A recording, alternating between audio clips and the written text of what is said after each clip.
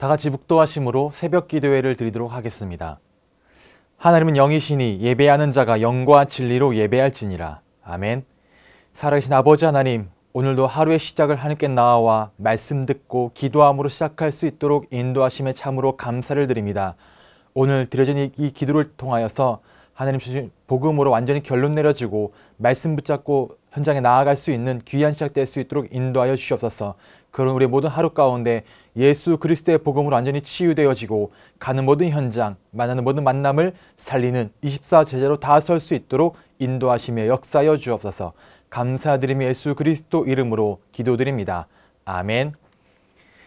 어, 오늘 은혜 받고 성취될 하나님의 말씀은 10편 57편 7절에서 11절 말씀입니다. 어, 제가 봉독해 드리겠습니다. 하나님이여 내 마음이 확정되었고 내 마음이 확정되었사오니 내가 노래하고 내가 찬송하리이다. 내 영광아 깰지어다. 비파야 수금아 깰지어다. 내가 새벽을 깨우리로다. 주여 내가 만민 중에서 주께 감사하오며 문 나라 중에서 주를 찬송하리이다. 무릇 주의 인자는 커서 하늘에 미치고 주의 진리는 공창에 이르나이다. 하나님이여 주는 하늘 위에 높이 들리시며 주의 영광이 온 세계 위에 높아지기를 원하나이다. 아멘. 읽어드린 말씀 가지고 내 마음이 확정되었습니다. 란 제목으로 함께 은혜를 나누도록 하겠습니다. 오늘로써 이제 2020년도 약 2주 정도 남은 어, 어느덧 새해를 맞이할 날이 며칠 남지가 않았습니다. 코로나19로 인해서 시작된 이 새로운 환경에 적응한다는 것이 아직도 쉽지만은 않고 어쩌면 우리의 삶이 어, 이렇게 버티고 있다, 어, 겨우 버티고 있다, 또 막, 막바지 몰려 있다라는 어, 말이 나올 정도로 이 어려운 상황 속에서 올 한 해를 지내오게 된 것 같습니다. 어, 그러다 보니 어쩌면 우리의 올 한 해는 예년과 좀 달리 이 원단의 말씀을 또 말씀을 계속 기억하고 그 말씀의 성취를 삶의 현장 가운데서 계속 맛보아 살아간다라는 것이 어쩌면 쉽지 않았을 수도 있는 그런 한 해였을 수 있습니다. 어, 그런 가운데 교회적으로는 한 달 일찍 어떤 교회의 조직을 바꾸고 미리 청지기를 발표하는 등 발빠르게 움직이고 있습니다. 어, 왜 그렇습니까? 각 개인마다 미리 영적으로 결단하고 2021년 받을 응답의 플랫폼을 한 달간 미리 구축해서 새해가 시작되어지면 선포되는 말씀을 붙잡고 담대하게 믿음의 전진을 하라는 것입니다. 어렵다고 말한 상황 가운데 주저앉아 있지 말고 끝까지 언약적인 도전을 하며 내년에 주실 응답을 미리 보고 미리 갖고 미리 누리라고 우리에게 이런 시간표를 주시는 것입니다. 그렇다면 남은 한 해 오늘 말씀의 제목처럼 정말 믿음의 결단을 하고 마음을 확정하시는 우리 모든 성도님들 되시기를 바랍니다. 여기서 확정되었다라는 말은 어, 세우다, 준비하다, 고정하다라는 뜻으로 그 마음이 굳건하게 되어서 어, 내 마음을 다른 생각이 아니나 또 어떤 여러 생각으로 가득 채우는 것이 아니라 오직 한 가지 마음으로 가득 채워서 굳건하게 하였다라는 뜻입니다. 그러면 어, 어떤 마음으로 그 마음을 가득 채워서 확정하였겠습니까? 오늘이 시편 57편은 다윗이 사울을 피해서 굴에 있을 때 지었던 그 찬양시로 다윗이 사울과 함께 있다가 그 사, 사울이 자신을 죽이려고 하자 그 사울로부터 도피하여서 굴 안에 있던 중에 지었던 시임을 알 수 있습니다. 어, 그 사무엘상 22장의 아둘람 굴이나 그 다음 장인 23장과 24절에 엔게리 굴에 숨었을 때 다윗이 지은 시로 우리가 볼 수 있습니다. 어, 다윗, 다윗은 사울을 피하여 도망다니는 환란 가운데서 심각한 공경에 처해 있지만 하나님을 자신의 피난처로 삼는 가운데 지금까지 자신에게 역사하셨던 하나님의 일하심과 하나님의 은혜를 다시 확인하게 되었고 그것을 통해서 하나님을 더욱 신뢰하는 가운데 굳게 세워졌으며 앞으로도 나의 마음은 그렇게 될 것이다 라고 고백하고 있는 것입니다. 하나님이여 내 마음이 확정되었고 내 마음이 확정되었사오니 내가 노래하고 내가 찬송하리이다. 그것도 확정되었다라는 말을 이렇게 두 번이나 반복하면서 자신의 신앙적인 의지가 얼마나 확고한지 흔들림 없이 나타내고 있는 어, 다윗의 고백인 것입니다. 우리 역시 우리가 앞으로 걸어가게 될 걸음들이 어떠할지는 확실하게 알지 못합니다. 과연 지금보다 나아질 것인지 아니면 이런 상황이 계속될 것인지 또 우리 앞에 어떤 어려움이 놓여져 있는지 아니면 어떠한 축복과 응답을 맛보게 될 것인지 알지 못합니다. 어, 그렇지만 오늘 시편에 다윗은 어려움 가운데서도 그동안 자신의 역사에 오셨던 그 하나님을 바라보면서 하나님을 향한 마음과 신뢰를 굳게 하였던 것처럼 우리 사랑하는 모든 성도님께서도 지금까지 우리와 함께 하셔서 우리를 인도하셨던 하나님을 바라보며 마음을 확정하는 그런 은혜의 시간표가 되시기를 바랍니다. 그래서 말씀이신 하나님, 그리고 그 말씀을 성취하시는 하나님만을 바라보며 그 뒤를 뒤따라가는 가운데 믿음의 직진을 하는 그리스도의 절대 지자가 다 되시기를 주님의 이름으로 축복합니다. 그렇다면 첫 번째로 내 마음이 확정되었습니다. 입니다. 7절 말씀을 다시 보도록 하겠습니다. 하나님이여 내 마음이 확정되었고 내 마음이 확정되었사오니 내가 노래하고 내가 찬송하리이다. 한 해를 마무리하는 이 시점에서 그리고 새로운 한 해를 기다리고 있는 시간표 가운데 모든 성도님께서는 오늘 말씀을 따라 우리의 마음을 하나님께로 확정하는 그런 시간을 가지시길 바랍니다. 그렇다면 우리의 마음을 무엇으로 확정할 수 있을까요? 먼저는 하나님의 말씀으로 여러분의 마음을 확정하시기를 바랍니다. 이 사도행전 20장에 보면 사도 바울이 자신이 3년 동안 사역했던 에베소의 중요한 사역자들을 초청하여 그들 앞, 그들 앞에 두고 그들과 헤어지기 전에 마지막으로 고별 설교를 하는 그 장면이 나옵니다. 그 가운데 던지는 중요한 말씀이 무엇이냐? 사도행전 20장 32절에 지금 내가 여러분을 주와 및 그 은혜의 말씀에 부탁하노니 그 말씀이 여러분을 능히 든든히 세우사 거룩하게 하심을 입은 모든 자 가운데 기업이 있게 하시리라라고 말하고 있습니다. 하나님의 말씀만이 우리를 하나님의 집으로 또 하나님의 교회로 굳건하게 세워져 갈 수 있게 하고 또 우리를 미래 교회로 세워서 하나님이 예배하신 구원과 그 상급을 능해 받게 하실 수 있기 때문에 너희를 그 하나님과 그 은혜의 말씀에 맡겨서 그 말씀이 너희의 모든 일을 주관하게 해달라고 강구한다라는 그 내용입니다. 오직 하나님의 말씀, 오직 주의 말씀만이 능력이 있고 영원히 변치 않아서 우리를 능히 세우실 수 있게 하고 또 우리를 능히 거룩하게 하실 수 있는 것입니다. 그렇기 때문에 시편 119편 105절에 주의 말씀은 내 발의 등이요 내 길의 빛이니이다 라고 고백했던 그 시편 기자의 고백처럼 우리 인생에 있어서 오직 하나님의 말씀만이 가치가 있고 오직 하나님의 말씀만이 소중한 것이며 우리에게 절대적으로 필요한 것이 되는 것입니다. 우리 사랑하는 모든 성도님께서는 이 말씀으로 이 하나님의 말씀으로 여러분의 마음을 확정하시기를 바랍니다. 남은 기간 동안, 남은 한 달 동안 우리가 지난 한 해 동안 들었던 그 말씀들을 다시 한번 기억해 보시고 그 가운데 우리가 구했던 기도의 제목들 또 하늘 앞에서 했던 말씀 가지고 했던 그 서원들을 다시 한번 돌아보시기를 바랍니다.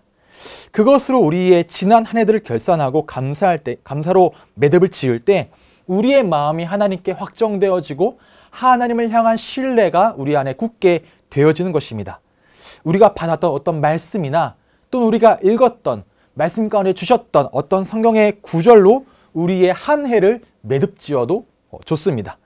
아니면 그 말씀과 연결되어져서 여러분이 좋아하시는 어떤 찬양의 가사로 이렇게 정리해 보셔도 결정해 보셔도 좋습니다. 아니면 그 모든 것 가운데 나의 어떤 믿음의 고백으로 정리해 보셔도 좋습니다. 그 어떤 것이든지 간에 하나님께서 우리에게 주신 그 은혜의 말씀으로 굳게 서게 되시고 우리의 마음을 여러분의 마음을 확정하시는 것입니다. 그렇게 해서 하나님의 은혜와 그 말씀이 우리의 삶 가운데 머물게 하고 또 내 삶을 견고하게 지지하며 지탱하도록 하게 하는 것입니다. 저 같은 경우도 개인적으로 굉장히 중요한 순간순간마다 말씀으로 저의 삶을 매듭지었던 것을 기억하게 됩니다. 어, 저 개인적으로 굉장히 어려움이 많았던 시기를 지나고 난 다음에 고린도전서 15장 10절의 말씀으로 내가 나 된 것은 하나님의 은혜로 된 것이니라는 그 말씀으로 제 삶들이 정리가 되어졌었고 또 제가 어렸을 때 군 생활을 하는 가운데서는 창세기 39장 2절의 말씀 따라 하나님이 요셉과 함께 하심으로 그가 형통한 자가 되었다라는 그 말씀으로 저의 군 생활을 매듭 지었었습니다. 또는 제가 신학교를 결단하고 주의종으로 가기를 결단한 그 시점에서는 어, 이 모든 것이 하나님의 은혜라는 그 찬양으로 제 마음을 확정하고 결단했었던 어, 그런 기억도 저에게 있습니다.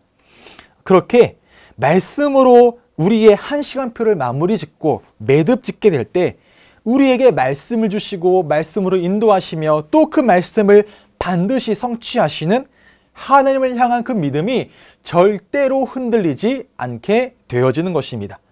그렇기 때문에 오늘도 우리는 말씀을 듣기 위해서 이렇게 나오게 되어지고 또 우리가 가정에 있든지 교회당에 있든지 아니면 온라인으로 예배를 드리든지 오프라인으로 예배를 드리든지 오직 말씀을 듣고 하나님께 예배를 드리는 그 시간이 우리에게 최우선순위가 될 수밖에 없는 것입니다.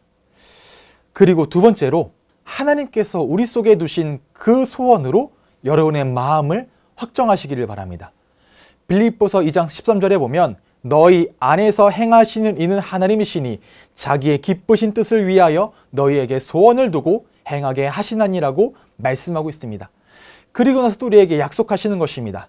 데살로니가전서 5장 24절에 너희를 부르시는 이는 믿으시니 그가 또한 이루시리라.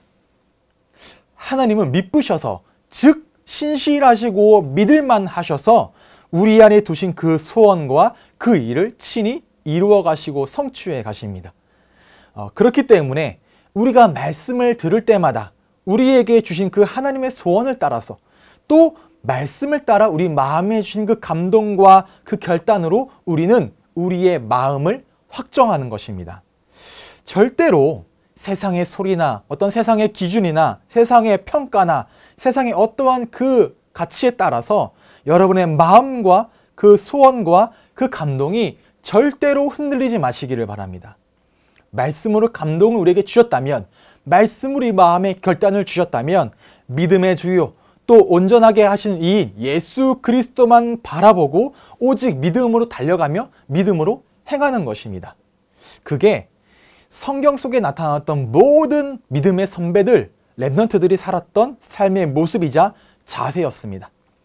우리 아버지 하나님께서는 우리에게 명하신 모든 일을 친히 이루시고 마치시기까지 우리를 떠나지 아니하시고 함께 하시며 절대로 버리지 않겠다라고 약속하셨습니다. 그렇기 때문에 끝까지 멈추지 말고 언약적 도전하시는 사랑하는 모든 성도님 되시기를 주님의 이름으로 축복합니다. 그렇다면 두 번째로 내가 새벽을 깨우리로다입니다. 이 하나님 앞에서 자신의 마음이 확정된 다윗이 하는 그 고백과 그 찬양입니다. 10편 57편 8절에 내가 노래하고 내가 찬송하리로다. 내 영광을 깰지어다. 비파야 수금을 깰지어다. 내가 새벽을 깨우리로다. 서론에서 이야기했던 것처럼 지금 다윗은 아둘람 굴 또는 엥게리 광야 굴에 사울을 피해서 있는 그 상황입니다. 사실 그 굴 속으로 사울이 발견해서 군대를 이끌고 들어오면 완전히 끝나는 상황으로 분명히 다윗은 역경과 고난 속에 있고 앞이 보이지 않는 어둠과 같은 막막한 두려움 가운데 있는 것입니다. 그런데 그 상황 속에서 하나님의 말씀을 묵상하고 또 자신에게 그동안 베푸신 하나님의 은혜를 기억하는 가운데 그의 마음을 다시 하나님께로 확정한 그 다윗은 이제 내 앞에 주어진 현실을 하나님의 은혜로 바꾸어 나가겠다라고 하며 새로운 시작을 결단하고 도전하겠다라고 그 마음을 먹고 있는 것입니다. 내가 새벽을 깨우리로다. 사실 다윗의 상황은 바뀐 것이 전혀 없습니다. 여전히 사울의 추격을 받고 있고 그 답답한 마음으로 긴 밤을 지새는 가운데 그 밤 동안 어둠이 짙게 깔려져 있었을 것입니다. 그런 가운데 이번 말씀 1절에서 6절까지 하나님의 은혜와 하나님의 도우심을 간구하고 자신의 처지를 하나님께 호소하면서 하나님께 피하겠다라고 하나님의 은혜를 달라고 간구하는 가운데 자신에게 닥친 이 어둠은 더 이상 나에게 어둠이 되어지지 않으며 하나님과 함께하고 있는 자신을 이 어둠이 절대로 삼킬 수 없다는 것을 깨닫게 되면서 저 멀리서 새벽이 밝아오고 동이 터오는 것을 지켜보는 가운데 그 마음의 감동함으로 결단을 가지고 외치는 것입니다. 내 영광아 깰지어다 피파야 수구마 깰지어다 내가 새벽을 깨우리로다. 하나님의 구원을 찬양하면서 자신의 앞길을 이제 여실 것이고 함께 하실 하나님의 구원하심을 또한 찬양하면서 앞으로도 계속해서 새벽마다 하나님을 찬양하겠다라고 결단하는 그런 고백인 것입니다.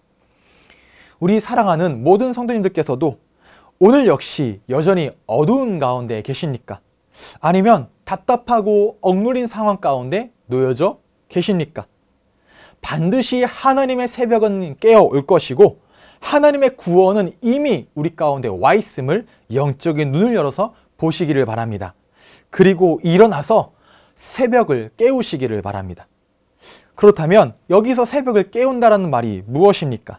시편 57편 9절에 주여 내가 만민 중에서 주께 감사하오며 문나라 중에서 주를 찬송하리이로 하나님께서 자신에게 베푸신 그 구원의 은혜에 감사하면서 그 구원의 은혜가 얼마나 큰지 많은 민족과 많은 사람들에게 또 모든 나라에 밝히 드러날 것을 지금 찬양하고 있는 것입니다. 다시 말해서 그리스도 예수 안에서 나를 구원하신 하나님의 은혜에 대한 그 근원적인 감사가 회복되어지고 모든 상황 가운데 하나님의 살아계심을 밝히 드러내실 것, 드러내실 그 하나님의 역사하심과 그 하나님의 인자와 그 하나님의 선하심을 믿음을 가지고 미리 감사하는 다윗의 고백인 것입니다.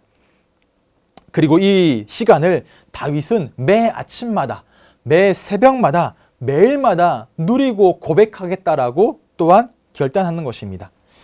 우리 살아는 모든 성도들의 매일 가운데서도 이 하나님의 구원을 날마다 묵상하고 하나님의 은혜를 날마다 고백하는 이 서밋의 시간이 반드시 있게 되시기를 바랍니다.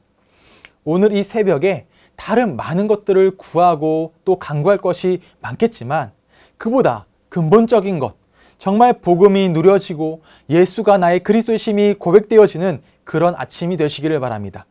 그래서 하박국 3장 18절에 나는 여호와로 말미암아 즐거워하며 나의 구원의 하나님으로 말미암아 기뻐하리로다라는 그 고백처럼 근원적인 감사와 감격이 회복되어지는 모든 성도님 되시기를 주님의 이름으로 축복합니다. 결론입니다. 다윗의 마지막 고백입니다. 10편 57편 10절에서 11절에 무릇 주의 인자는 커서 하늘에 미치고 주의 진리는 궁창에 이르나이다. 하나님이여 주는 하늘 위에 높이 들리시며 주의 영광이 온 세계 위에 높아지기를 원하나이다. 바로 주의 인자와 주의 진리와 주의 영광이 드러나기를 고백하고 있는 모습입니다. 무엇이 주의 인자고 진리이며 영광입니까? 요한복음 1장 14절 말씀처럼 예수 그리스도가 곧 하나님의 영광이며 하나님의 진리이고 하나님의 인자가 되십니다. 즉 나의 삶을 통해서 오직 그리스도만 드러나고 오직 그리스도만 높아지기를 원한다라는 그 고백인 것입니다. 이것이 바로 하나님께로 마음을 확정한 사람의 결론이고 고백입니다. 오늘이 아침이 오직 그리스도만 고백되어지는 귀하고 복된 하루가 될 때에 우리의 모든 삶을 통해 하나님의 살아계신과 예수가 그리스도시요 세상의 유일한 구원자가 되심이 나타나는 전도자의 하루가 되시기를 주님의 이름으로 축복합니다. 그럼 제가 기도로 마친 후에 여러분 개인의 기도 시간을 꼭 가지시기를 바랍니다. 기도하겠습니다. 하나님 감사를 드립니다. 오늘이 새벽 아침에 하나님의 구원과 하나님의 은혜와 하나님의 말씀과 하나님의 인자를 묵상하는 가운데 우리의 모든 마음이 하나님께로 확정되어지는 귀하고 복된 하루가 될 수 있도록 은혜를 허락하여 주시옵소서. 오늘도 우리의 모든 삶 가운데 예수 그리스도가 드러나고 나타나는 전도자의 삶이 될 수 있도록 인도하시며 역사하여 주시옵소서. 그래서 우리의 모든 삶을 통해서 하나님의 구원이 드러나는 절대제로 다 설 수 있도록 인도하여 주시옵소서. 감사드리며 예수 그리스도 이름으로 기도드립니다. 아멘.